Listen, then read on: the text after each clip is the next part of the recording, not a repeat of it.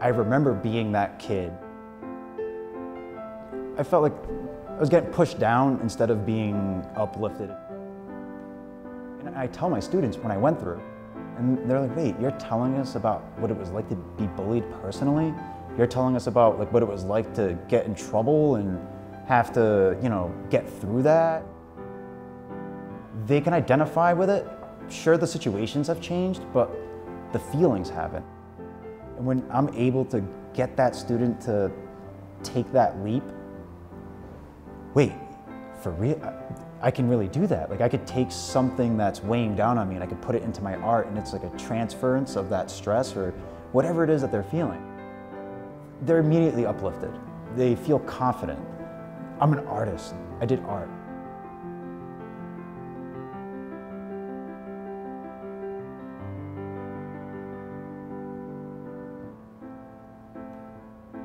Coming from Puerto Rico, things were so different.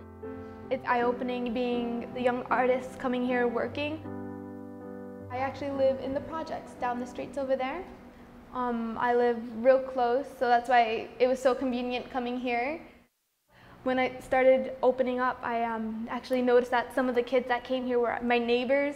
And so instead of being that quiet person at home always reading, I actually had people that I can go outside and play with. I wasn't as alone as I thought I was. Knowing the community around here, things aren't always that great.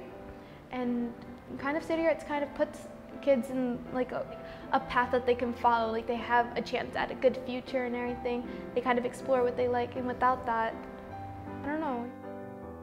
For me, it impacted me a lot.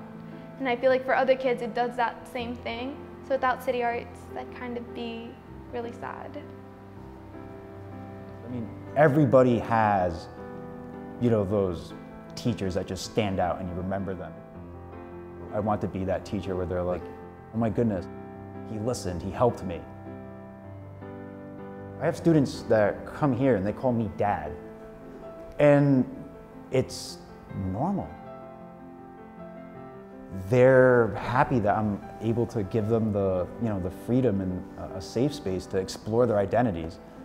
Because I mean, I think central to the idea of artistry is community and central to community is family. You know, being able to draw new familial lines with people who, you know, you don't share a relation to.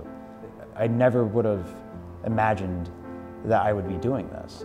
And it's the greatest thing I've ever done. It really is.